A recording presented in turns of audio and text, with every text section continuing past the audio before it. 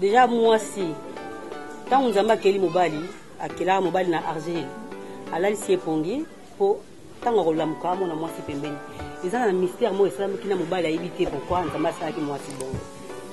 Toza bato tomemaka 9 mois mpo tobimisa moto na mokili. Biso toye kotalisa bango, eza na ba maitre avocat oyo bakoya bako expliquer biso ba droit na biso na mosala oyo tozosala mpe ba discipline oyo esengeli tolanda na mosala oyo. Yo president, To obengisa mwana batu ya mwasi na ba minuit par exemple. Yo oke na kati ya ndaku moko boye president alalisi wana po na tongo boa na tournage. Oyo bosali na president na butu eyebani te. Ba pesa biso kaka chance.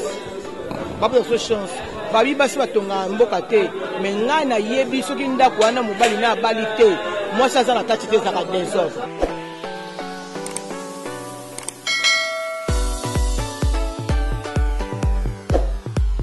papa nyonso tu baparole tu ya découragement oyo ekoya kodécourage afa nzambe tosi kobebisa yango papa au nom de jésus christ papa naza kobouche matoi nyonso tina balezonti blesse te papa na lola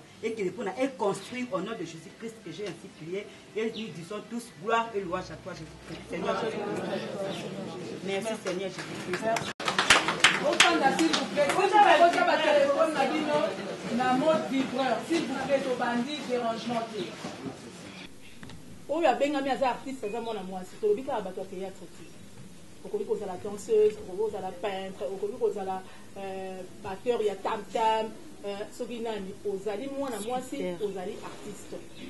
alors mpo na tocontinue programme na biso nazopesa parole epai ya mama présidente mpo na bien mo ya bien ya bienvenue pardon epuis na mo ya circonstance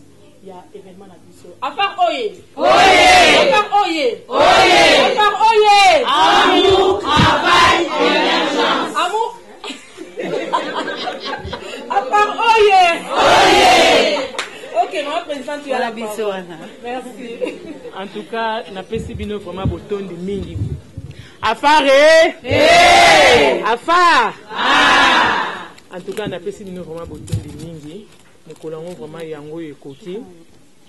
nakanisi tobengisi bino mpo na far afam eza association ya bafemme artiste oyo bongo ekambami na ngai nakanisi mpo na kobanda vraiment na mozindo likanisi ya far euti lelo nakoki koloba soki tobi tozonga nango na ebandeli tokoki kende lelo ata ba 10 ans nakanisi bamisusu oyo tozalaka na bango lelo bakota na se ya mabele Heure wana tozwaki kaka likanisi ya kosangisa basi ya theatre mais na lisungi ya ngai pe ya mama Sarah Musau oyo asalaka pe kala mais kufaki biso pe tobandaki tokataki topusanaki vraiment mosika te nde ya mbala oyo tolobi non tobenga ndeko Songolo Fakala tosangani biso nionso nde tobimisi bongo Afar. Tobandi afar le 3 janvier 2019 nakanisi lelo toza le 17 mars 2020 bo calculer tosali pas meme ata une annee yango nde tolobaki ke na but ya far ezali liboso autonomisation ya femme artiste. Tolobi ete ba basi oyo bazo sala musala oyo oyo aza oyo aza artiste ezala aza danseuse ezala aza peintre ezala aza sculpteuse ezala aza soki nani ezala aza femme chanteuse donc biso nionso tout toza ba artiste toza kaka na but moko yango posa na biso ezali tozala ba autonome autonome na sens nini nakanisi devise na biso bolandi yango amour travail emergence na kati amour social eza kuna na kati tolingi biso nionso tu ba femme artiste toyebana mwasi moko te azala kuna azala isole ya mosusu likambo ekomela ye biso na kati awa toyebi te ba cas ezali ebele oyo afar deja asa traite na kati ya social kuna tolingi bana na biso pe bayebana na kasi na kati na biso awa toza deja na ba danseuse Toza na ba peintres kati na biso, nakanisi à la longue boko decouvrir bango. Ba danseuses ebele eza ba oyo baza libanda baza na kati na biso. Tolingi bana na biso pe toyeba bango. Tolingi lobi lobi soki moko na biso azui likambu na kati ya bolingo oyo toza na yango ya biso moko basi basi oyo batia biso toujours que toyokanaka te, hypocrisie ezali. Soki likambu ezali na kati ya bolingo nionso tout toyebaka kobongisa yango. Et puis na kati ya travail. Tolingi artiste a vivre na musala na ye. Toye na Congo oyo tozo sala musala na Congo malgre vraiment gouvernement na biso ezo yeba vraiment ko tia biso na ba place oyo ebongi te pona ba talent oyo toza na ngo mais tolingi artiste a vivre au moins na musala na ye que na musala na ye aye nanu na talent na ye à part talent na ye ba escroquer ye nzoto ba escroquer ye esprit na ye ba escroquer ye makanisi na ye nakanisi biso surtout toyebi système abattoir Yango nde toboyi. Tolingi travail nde elesa artiste. Musala oyo tozo sala na bisika mususu tozo mona ndenge basi bazo tombwama. Soki tozo sala tozo tala ba ndeko na biso baza libanda tozo mona basi nde bazo sala musala oyo ezo kende liboso. Na kati ya musala oyo tosalaka na Congo awa soki mwasi aza te ekendaka heure ezalaka heure moko na elengi te. Lelo orchestre nionso tout ekoma na danseuse. Soki danseuse aza te donc eza lokola musique wana ezo simba te. Eza na basi mosusu kati na biso bazo sala misala oyo to decouvrir bango nanu te. Baza ebele. Yango tobengi biso nionso tout tosangana po toyeba ko vivre na mosala na biso. L'etat na biso congolais ayeba ko reconnaitre biso. Et puis emergence. To remarquer que na kati ya mosala na biso oyo toza na basi mosusu pe batangi classe, ba pusi ba classes na bango mosika. Toza na bato oyo basali coupe couture oyo lelo baza na modelisation, na stylisme. pe modèle donc bazo cree ba midèle na kati ya musala oyo et puis na kati na biso esi toza na basi oyo ba tangi ba classe baza ba professeur na ina baza basi me basalaka theatre toza na bato ba ba oyo basali medecine science infirmière ba vocate kati na biso bazali tolingi a part theatre mutu na musala na ye ayeba komata akende bongo musika Musala na ye emema ye musika. A part theatre soki omoni que oza na classe mususu osala te, okoki pe ko luka ko ko yekola lisusu po omatisa musala na yo. Na kanisi ba formation ezo pesama. Na kati ya ba objectif na biso toza na ba renforcement ya ba capacite. To yeba vraiment na kati ya musala nionso tout eza na ba discipline na yango. Toyeba ko respecter ba discipline ya musala wana pe mutu na mutu na likanisi oyo azalaka na yango akoki kozala na theatre malgre makoki eza te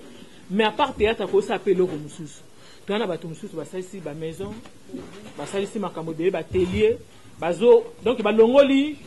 chomage na ndenge na bango po batie batu bazosala na bisika wana Donc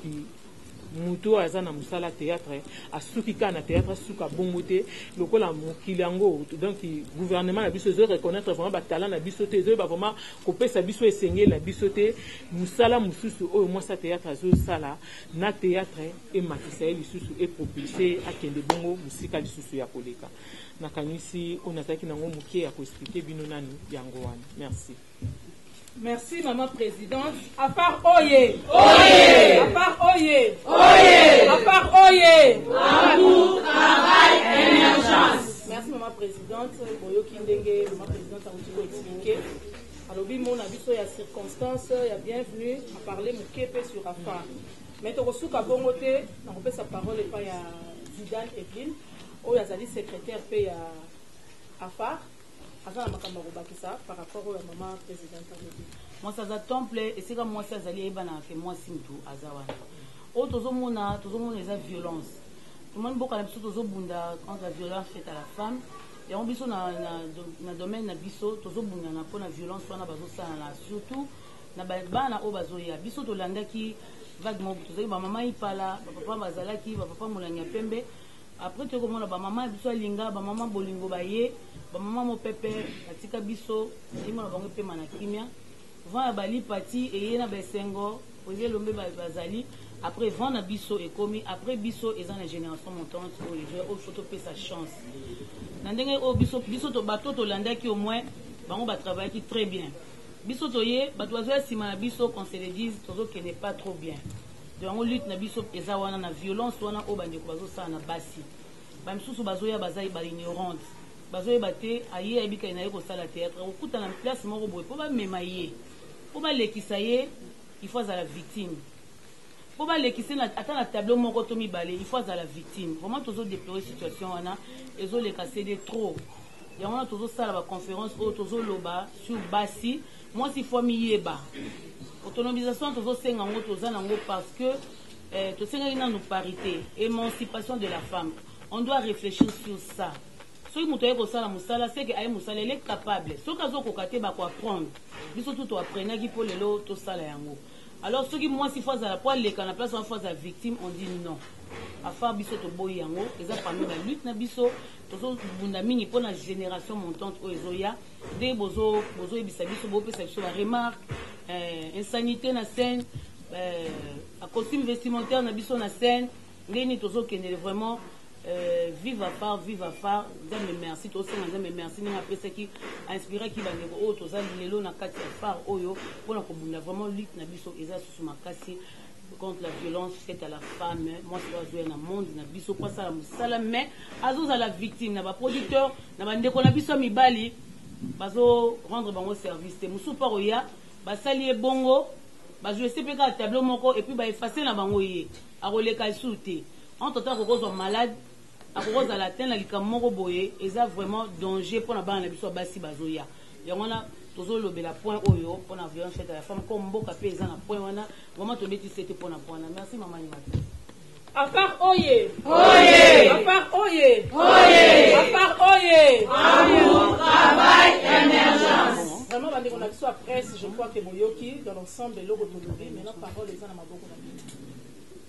Ba maman journaliste, ba papa journaliste bazali awa.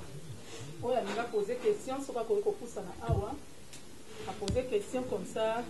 ndenge tozali awa ba membres ya comite bazali. Ok na passer quand meme na presentation hein pardon ya ba membres ya comite hein. Detail wana tobosanaki Darling okoki otelema. Toza na maman presidente pardon Darling une minute pardon tobanda na maman presidente. Maman presidente okoki otelema.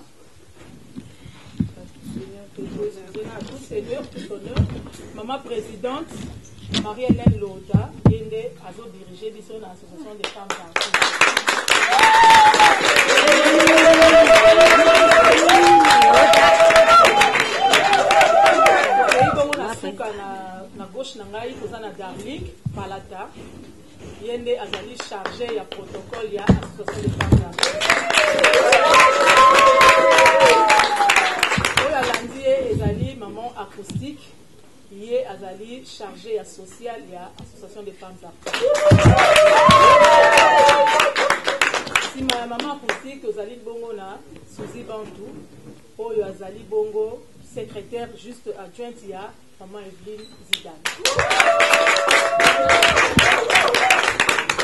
Sima ya ma présidente tozali bongo na Ursule Peshanga oyo azali bongo relation publique relation publique ya association des femmes artistes.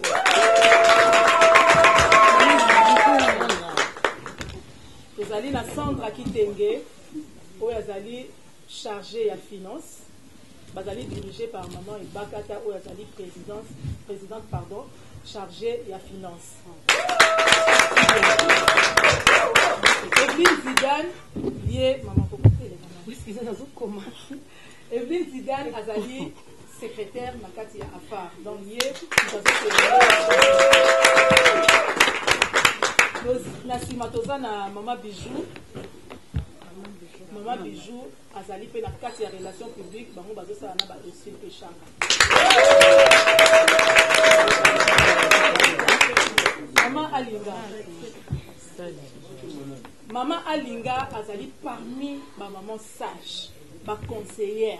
ba maman bazotombola afar mm. mpo bokomona afar le mosusu bokomona kaka ba jeune non bato bazochapote mpenza eloko oyo nyonso ezali ba mama alinga baza na ba mama boli ba mama bipendu ba mama pembele mama boka mama shako ba mama na biso nyonso ba mama sage avant tozwa décision tokendaka kosola na bango tosololi na nzambe tosololi na bango ah boye te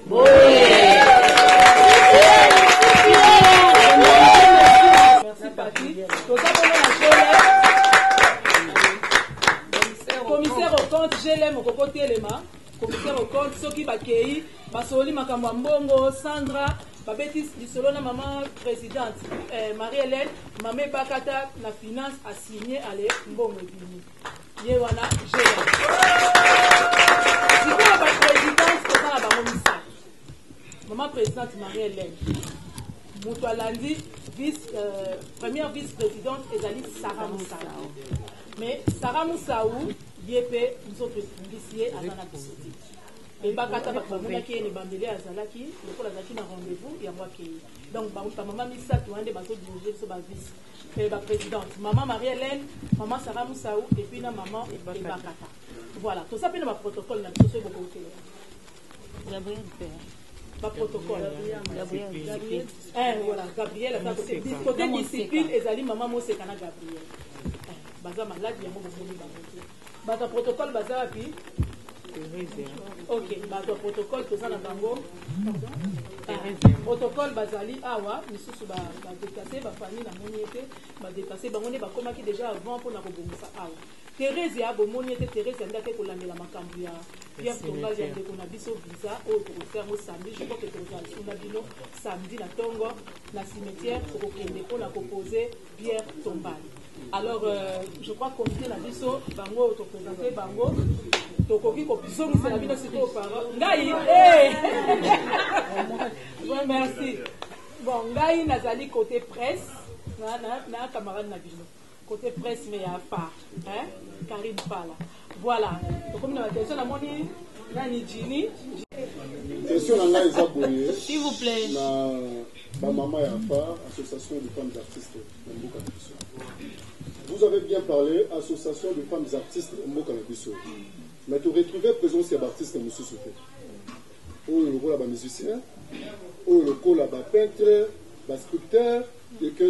ainsi que les autres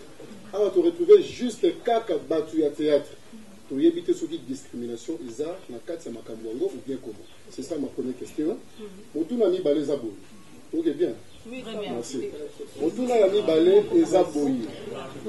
lolenge nini mwasi ya theatre akoki kotambola na société Merci bandeko mususu baloba po ya misato tozo. Ok Djinny a pose question mibale. Non na danseuse oyo azali moko na biso Nanou Nana Nana ya Zaiko Zaiko ya ya Niosh aza na kati na biso toza na Tatiana ta, eh, Anya pe aza kati na biso et puis toza na sculpteuse moko Solange nakanisi aza pe kati na biso ba tobengaki nombre moko limite po eza nango point de presse Nakanisi mbala sima bomona bango nioso tu to presenter bino. Toza na danseuse nakanisi na assainissement tozalaki na ye tolongolaki salite na ye toza na Anya na première reunion tosalaki kuna pona assainissement Anya azalaki sur place bao baza bazwaki image bamonaki ye toza pe na sculpteuse moko Solange oyo asalaka bikeko toza na ye atindaka ba cotisation na ye apesaka mbongo na ye ya fin du mois ya caisse mais nanu vraiment azua ma koki ya kozala na biso elongo na reunion te mais na makambu nionso tout azalaka na biso elongo. Euh, balobaka bayebaka mutu na ezaleli na ye. Ndenge okozalela nde ndenge ekolakisa ndenge oyo ozaleli. Meme place tovandaka parce que ba mosala toyaka eza deuxième famille na biso. Place towuti il faut apprendre, batu apprenaka toujours. Oko rate education na famille Oye kozwa ngo na musala oko rate education na musala oye kozwa ngo na eglise donc on apprend partout toza wana kaka tozo landela tolandelaka kaka biso pe toza na mabe na biso ça veut pas dire que biso toza toza parfaite non mais okoki ozalaka te na ntongo etani ozobose libanda ozotelema ozodiskite na yo na balabala ozalaka bien na nzela motu moko boye fani na koya mpenza reproche ah anzela na yo mpe ozosala makambo ya boye Eza dejà soni donc mwasi soki oza dejà na eloko moko boye oyo oza batu bayebi yo batu bamonaka yo il faut savoir se comporter ko eviter ba discussion eviter ba debat inutile koswana na batu esika ozala faux exemplaire po tangu tozo leka na TV mosala na biso eza mosala ba ya ba noble Kevin Ekwata Leketshou Congo Liziba le jeune producteur hmm. naosololi kamoko bike euh, attention apa bobi bolingo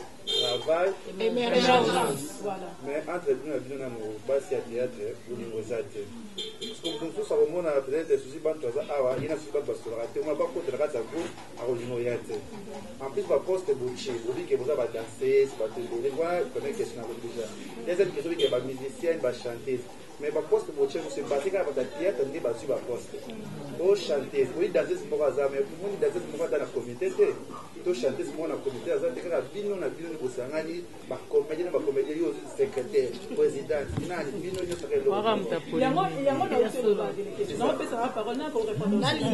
nauti koloba déjà ke ntango tobandaki tozalaki bolingo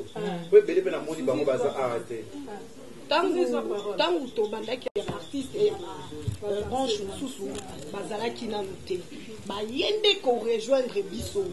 yango bakuti deja comité comité provisoire oyo esi esalami yango tozobenga bango baya baya lisusu ebele adhesion eza wana bafiche adhesion eza wana baya kosadere de façon que de la manière à ce que tangu tokokoma na moment ya ba election bango mpe bapoze ba candidature na bango mpo lobi lobi bomona bango mpe awa na comité likomba bolingo leke tu nalingi naloba boye Nakanisi likambo oya bolingo yango nde penza tozo telemela po bino surtout batu ya presse nde botambuisi biso sango ke bolingo eza te po bozo yeba makambo ya kati mingi alors nayo biso ke esika batu bazali makambo ezangaka te il faut boyeba yango meme na ba famille ba noko pe bavandisaka ba noko bavandisi bana mama leki na bana tata mwasi po bayokanisa bango tolobaki biso tokotala ba, ba ba sodi mère ya batu te po yo intel aza kuna biso moko nde toza awa Toza na bolingo na sens nini? Tolingi bato oyo yo tango omoni na mosika ese yo oza na problème na ngai oza na problème na Souzy moto oyo aza na bolingo ye nde moto akoya koluka biso soki problème tozo bongisa pe makambo ebele soki yo oyebi te na ya oyo toyebi oyo toyebi tozoluka tobongisa yango totia kimia. Mais misusu pe ezali eza ba guerre d'esprit eza toza ba star toa ba vedette ba guerre d'esprit na bango mususu biso pe tolanda yango te eza lokola bana na bana bazo suana ma ba parents bakotaka makambo nionso to eza ya bana te mais awa tosangisi biso nionso oyo bomoni bango awa te toyebisi bino ke tobengaki ndambu kaka po to loue espace te na kati na fete na biso ya dimanche bomona batu nionso bakozala toa plus de 300 personnes na groupe na biso Alors bango nionso bakozala soki tolobi tobenga bango nionso to yebisa nga totia bango musika nini po to loue place te po tozo preparer ko loue place pona fete oyo toza nango ya dimanche ya cloture ya mois de la femme makambo oyo ozanga te tokobanda ko continuer toujours kaka ko arranger makambo mais na bolingo biso toza nango tobanda oluka kaka totia kimia mais makambo oyo balatisaka biso wana en tout cas ti toye awa tozoyoka pe makambo yango maintenant tomoni na biso likambo moko te oyo ekoki kosala ke bato basalana soki ndenge nini Yaka ba futilite mingi ezo boma biso na kati ya musala na biso on a dit ba lobaki mais mutu ye moko a vivre likambu wana aza te ba ye kaka ko yebisa oyebi ke tangu ba tozalaki na tournage moko songolo producteur yo mutu osangisaka batu tangu bozo beta lisolo wana eh mususu omona mutu mususu a kumbi kaka kuna a ke ko pesa ndeko azalaki ne na ndaku ndeko oyo pe azalaki na ndaku au lieu a tuna eh mususu ye a koti kaka maman oyo na se a kanda na ko zanga maitrise Yango toyebi biso likambo nionso tout toko koka kosilisa makambo nionso tout te po toza ebele mais oyo toko sunga bazali po ke kimia ezala kati na biso toza famille. Dejà muasi tango nzambe akeli mobali akelaka mobali na argile alalisi ye pongi po tango akolamuka amona muasi pembeni eza na mystère moko esalami kina mobali ayebi te pourquoi nzambe asalaki muasi bongo toza bato tomemaka 9 mois po tobimisa mutu na mokili dejà na kote ya ke mwasi mpo abima fo mobali akushe na ye ifo mobali amoni légère tokoba wi egalite ezali ma egalite ezobanda nao na motu la femme c'est la tête eza liputa te eza kosangana ya buzoba tokoki kosangana mpe mais soki eza na eloko malonga te na kati wana tokosala eloko te deja na biso basi eloko nini bapiste eza nini toyeba ko se soutenir d'abord amour et puis ko se soutenir lelo oyo zidane akosala eloko il faut tozala ba première personne ya kotelema mpona kosoutenir zidane soki biso zidane asala eloko biso moko tobandi kopusana mosika mpo toluka totyela ye bapo banane yango omona mibali ntango bayaka bamonike biso tokosala eloko te toza na motema monene ya kosala makambo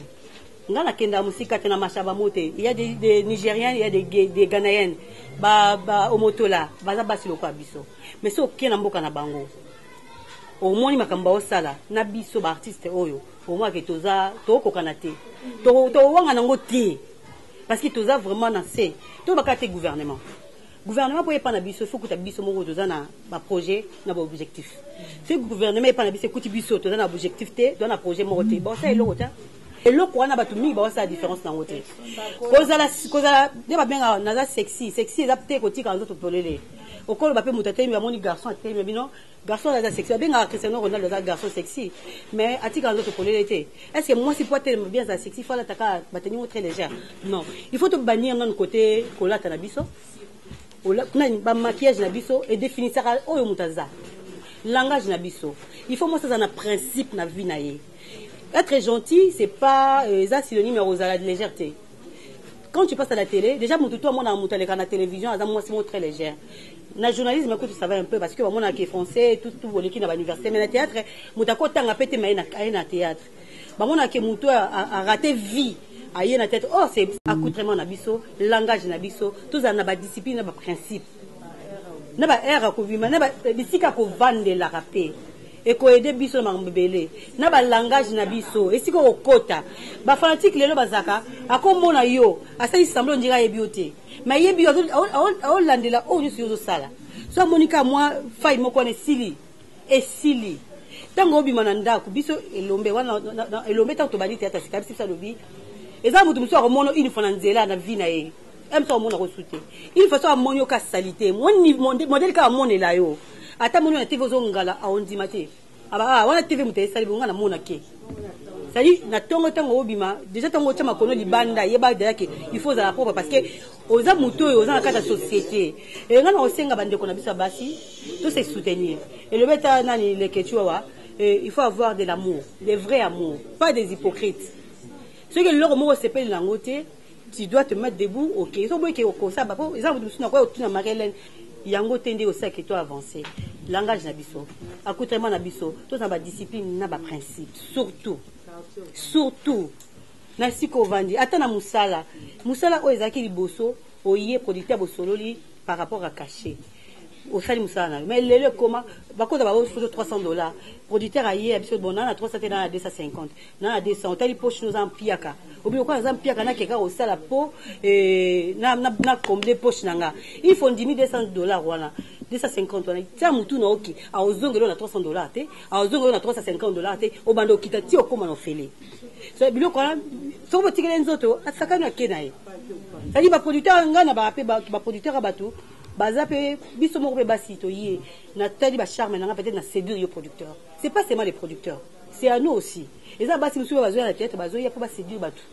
aye na ye ye but ne eza ke nga naye ko seduire na na objectif na nga naye koluka na theatre osila te eza na batu mususu aye na musala ayebi ke musala nde eza papa eza maman na nga tofingisa ba parents à, tra à travers nos images à travers nos dires bapropos ba, ba, ba, ba na biso efingisa baplace tozowutela e tosala effort bafamille na biso baparent na biso basibir makambo oyo te biso tolukela bango parce que ye na boboti mosusu aboti yo apesi yo éducation na yo mpo ofaire respecte ye na monde mais yo yesu kobandi ofingisa baparent c'est pas bon du tout e entre nous les femmes tokosala effort cote accoutrement cote langage cote ba discipline ba principe moi je peux faire quelque chose nga na na presidente na nga na groupe na biso totambolaka ntango na ye mpe na afa na afar totambolaka boye boye boye eya deja mibeko batie na afa il faut na respecte yango nde na ya boye jamais Karine Pala to Maria Lemba obando landa nga bisika nyonso na otambola. Non, on a bien dit ici on n'est pas là pour gérer de, des esprits. Donc soki oza na afar, afar baobi que Tokobimaka na bwati te, tokokendaka place boye te. On est oblige de marcher ndenge Afar alingi. Soki omoni ke kokoka te, tala ma place oyo na Afar eza te. Mpo na bandeko ba nde ba mama ya biso ba ya zizo abi bango baye liboso biso toa na nsima. Tolanda exemple na bango. Parce que nga so namoni ba mama na nga baya liboso baotambola bien. il faut nalanda bazala comme baexemple na biso neti bamama alinga baa lokola bakoko na biso to otala bamama la place bawuti bamama biso tozolandala bango baza ndenge nini donc on n'est pas là pour gérer les esprits totambolaka na discipline oyo eza na afar asali nga bona ndenge oyo nga nalingi te tia na moto oke prison Oza prison yo president peu importe ki presidence na yo likambo oyo abattoir wana nakasi pala oyo ayebi te abattoir eza lokola balekisi yo likolo ya mbeto mutu asakani na oke mbeka po ozua role songolo ndenge eza wana biso toye kotalisa bango eza na ba maitre avocat oyo bakoya bako explique biso ba droit na biso na musala oyo tozo sala pe ba discipline oyo esengeli tolanda na musala oyo yo president To obengisa mwana batu ya mwasi na ba minuit par exemple, yo oke na kati ya ndaku moko boye president alalisi wana po na tongo boye wana tournage oyo bosali na president na butu eyebani te. Yango wana nde tozo benga yango violation oyo mama Zidane alobaki. Donc quelque part o sequestrer mwana batu. non consentiment na donc na consentiment na ye te yango sikoyo nde biso afar toye koya biso balobi meme ba mikolo bayebisaka biso mwana basololaka na ye tabou ezala te na mwana po mwana libanda tango akobima soki bayebisi ye likambo moko bosongolo yango nde akotala conseil oyo mama na ye apesaka ye par rapport ya makambo oyo ye akutani na yango na nzela yango nde toye kolakisa ba leki na biso oyo bazoya na sima Sala musala na yo. Oye kosala musala peu importe groupe nioso te oye okokota mais yo oke kuna but no ezala liboso travail. Nakasi tomoni lelo ba consequences. Mutu moko avanda ne kuna na poto heure mususu pe aleki yo te heure mususu pe soki nde nini mais afingi afingi afingi toye kotelemela likambo wana bosuka naye ba bandeko na biso ya basi Tozala na discipline entre biso na bango donc bango ba kobenga biso pona musala na yo biso pe ya musala na biso biso pe tokobenga bango pona ba fanatique na biso oyo balingaka musala oyo tozo sala alors biso toye te po biso to promouvoir mwasi moko boye aye kosala ayaki deja na ndako aye ayeba ba objectif oyo aya bayaka kosalela theatre pona nzoto te. Question na nga eza boye na ba maman ya apart Defense na bino eobanda kozala kaka na ba femmes artistes to meme na biso oyo ba chroniqueurs? Non, non. On est là. Première question na nga. Deuxième question na ngai. À part eye ebimi na temps moke mais eza na moto na yango. Boorganiser ba activités ba nini eza déjà te. Bo promettre biso eko continuer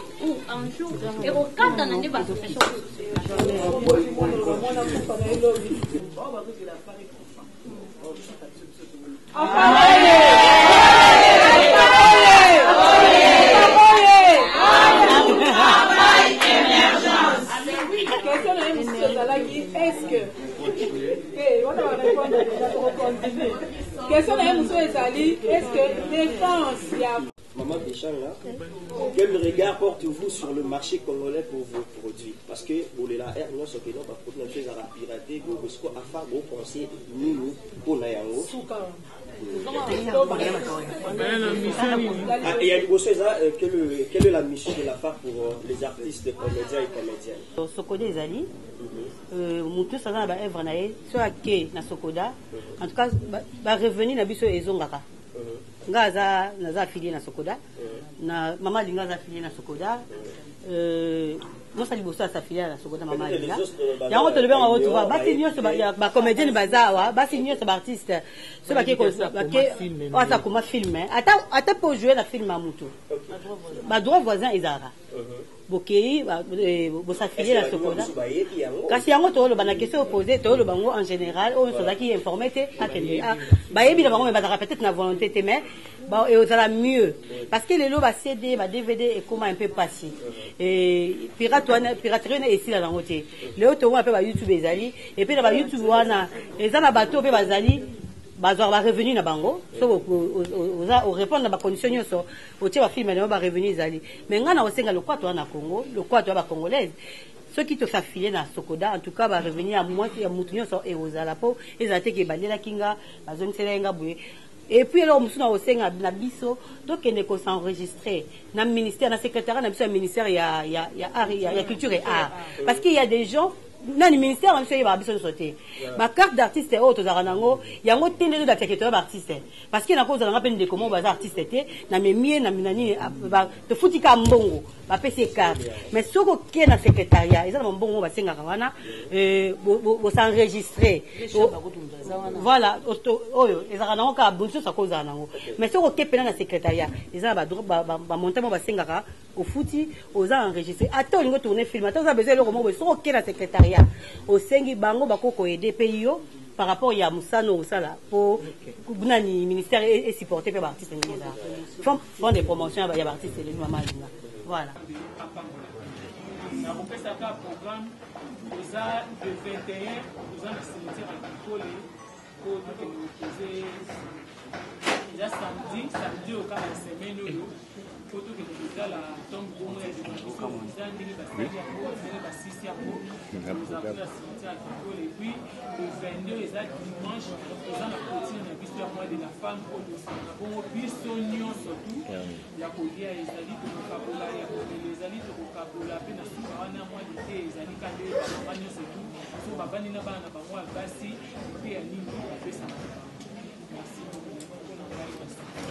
Caroline.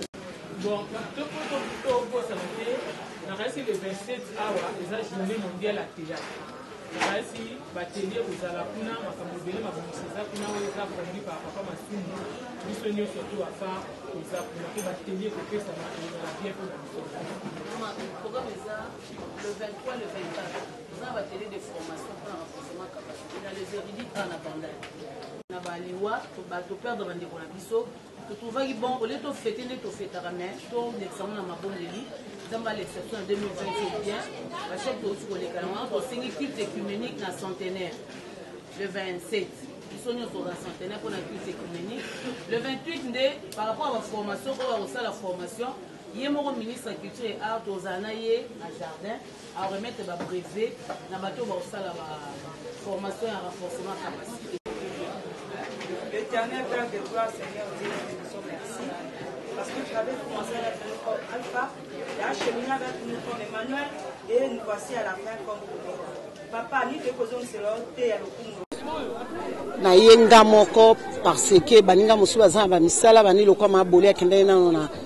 RTNC quand même lelo eza journée ya mosala mais nga nde naye kopresente bamama lokola bapembele bamama shako bamama bipende parce biso toza bamama sage mwana so aza na libumu aza mpo na yo moko mais mwana so abimi libanda aza mpo na motu nyonso jamais nakoki kotika bango parce biso nde bakoli histoire biso tokutaki bapapa ba maboke bamama ba mame waso oyo babengisi ya bino lelo moi personnellement naye vraiment areta parce que nauti kinkole kwana makambo ya, ma, ya, ya pierre tombali ya ndeko na biso visa naye vraiment presque à la fin makambo ndenge basololi mpenza nayoki mpenza te mais oyo ngai nakoki koba mwa mokie bapesa biso kaka chance bapesa biso chance babi basi batongaka mboka te me ngai nayebi soki ndako wana mobali na abali te mwasi aza na kati te ezalaka desordre epuis ata santa mobali omona yango boye na boye tamosu abima bilamba barepase te boye mai ntango mwasi ayaka bato bakopa eke obali tala ya elembo ya mabala yango donk mwasi atongaka biso toye nanu mpe lelo bapesa biso chance eh, totonga nanu afar etombola nanu nkita ya théâtre ya biso mpo na bamama mwa respect ba mama ba koma nango na mwa environnement na biso mwa na lia ya ba tournage ntango motu yo oyebi deya ke mwana oyo aza afar asala likambo moko bomba moko fo pesele rapport na afar afar nde koyeba mbano nini ekopesa mwana wana prive ba fatu miracle ba domaze ba bisiara ba eh, ba ba mado spaghetti eh, ba nani spaghetti eh, basa ebele ebele na bango natangi bakombo te bango nyonso basafili eza bien parce que eza ya baartiste comédien oko na bino ada ilunga oyo na réseaux sociaux na sur bomona o malgré que bosali afa eza association ya bafemme euh, ya baartiste mais lelo faut totuna o motuna na etant que mpe ezo représente déjà euh, euh, nini structure na bino ndeko na bino moko ada ilunga lelo est ce que effectivement bino mpe bandeko basi bozolandela yango parce que lelo tozomona yango sur le toit eza eza buzz